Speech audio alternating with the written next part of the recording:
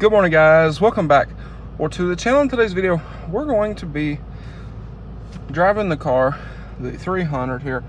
Um, what we're gonna do, yes we're driving the car, but um, what we're gonna do is I've actually got a bunch of stuff in the back back here in my flip-flops because I don't like wearing shoes with the new floor mats, but I've got some stuff here. We're gonna go show a lady um, who runs a horse camp. So with that being said, this is going to be a pretty good trip. Um, and what I'm going to do is, someone don't want to be on camera, uh, but what I'm going to do is I'm going to reset my trip fuel mileage here uh, when we get on the highway. And we're going to see what kind of fuel mileage this car will get on the same trip kind of that we've done before. Um, so the best this car has ever gotten was around uh, Christmas uh, last year. We got 23, I think it was 23 2, 23 3, somewhere in there on that same trip. Now, it was only 30 degrees outside, and as you can see, it is now 68.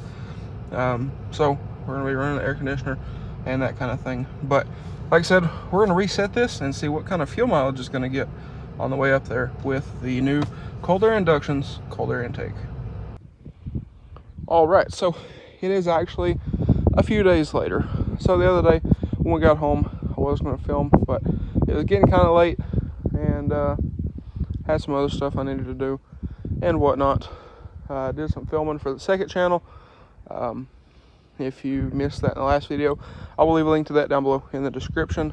Uh, but what we did is we took the car up, talked to a lady that my grandpa's girlfriend actually works for, kind of. Um, she does a bunch of cleaning and stuff for the, these folks that I went and talked to about doing some laser engraving, uh, decals, some sublimation stuff, and uh, whatnot. But um, we went to her house and this, and then took her Xterra, and then went from there. But this car did amazing.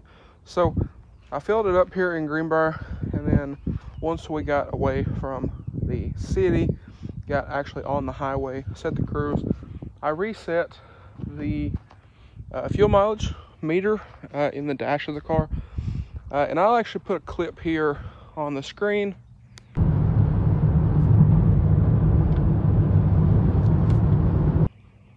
That you can kind of see fuel mileage. Now, I am amazed to say the least.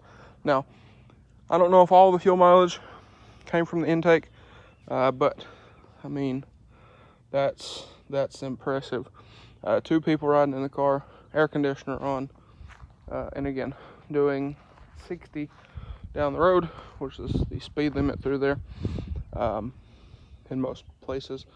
And then obviously backed it to 55 when I had to. But um, I think when I got off of the highway, it was at 27 or 26 and a half somewhere in there miles per gallon which was amazing.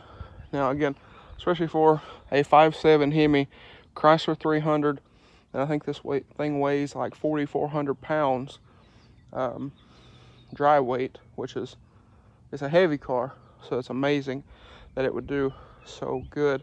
Now I mean like I said let's get in set the cruise and just cruise on out. Um, and that's also up and down hills.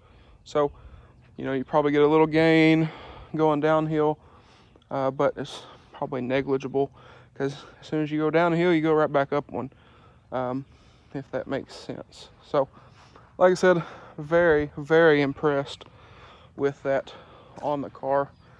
Um, now, like I said, I don't, I don't want to say all of that came from the cold air intake because um, we did. But as I was saying I don't want to attribute all of that to the cold air intake.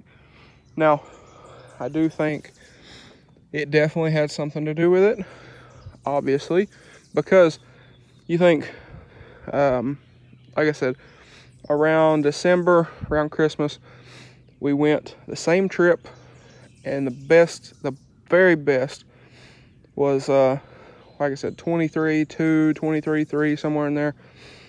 Um, and since then, we've changed the thermostat, a little bit cooler of a thermostat. Uh, put a 180 thermostat in the car. Now, I don't imagine that did a whole lot for fuel mileage. And then uh, the only other thing we've done was we aired up the tires.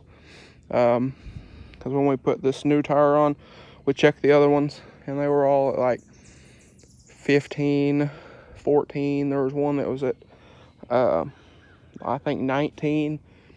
Um, so we aired those up to where they're supposed to be. Now I would say that probably helped a little bit, but not all of it, if that makes sense. Now, in this car, it seems a little out there that it might have picked up that much, but you think on the car, on those cars in particular, they have a typical airbox setup, and then behind the bumper, and I'll actually show you because we deleted it. There's a lot of room now. but behind the bumper, these cars actually have a big silencer box for the intake in which we deleted so it doesn't have that anymore. Uh, you can see here where the tire has rubbed through the fender liner that it is gone and that is the fog light plug if anybody was curious. But um, like I said we deleted that big box. And again that is like a silencer um, from what everybody said. I mean it's a huge thing all behind here. So you think air has to go from around the wheel and you know kind of this way and then up through the silencer into the intake box hard 90 and then hard 90 again into the engine whereas the I think this is unlocked. Yep. So whereas the cold air induction system pulls from the hole that was there already but it doesn't have to run all through the silencer box and everything else. So it can kind of come through here, you know, between the headlight and through here. And then that hole down there in the bottom, which you probably can't see. But there's a hole in the sheet metal directly under the filter that it can pull from. And then this is a bit of a sealed unit, kind of a more gradual flow it's easier for the car to breathe, if that makes sense. Now, this is all this is all dirty from the Memphis trip, uh, but like I said, everything's more gradual. There's no hard 90s uh, in anything uh, or stuff like that. You have more surface in the filter to pull air from, um, such stuff as that. So, like I said, I figure the intake made a great deal of difference. Like I said, I don't know if it made all of it uh, because these tires were just about flat apparently uh, when we made that last trip. Um, we also did the, the, thermostat again, which people say helps fuel mileage. I don't know. Uh, mine was leaking. I had to change a uh, thermostat anyway, so I went ahead and got a 180 uh, since that's like an upgrade for these cars. But like I said, I mean, car did great. Um, I was amazed, to say the least, getting, again, 27 miles a gallon in a Hemi V8 car, uh, I would say, was pretty amazing. Now, this car is factory gear, you know, all that stuff. It's not tuned. I would like to tune it at some point, I think. Um, but I want to leave it on 87 because it's cheap, cheap to operate, and I'm not going for max power in this car anyway, uh, if we're being completely honest. So, anyway, guys, I just thought I'd make this video. I thought it was interesting. Um, I mean, if I didn't find it interesting, I wouldn't have made the video.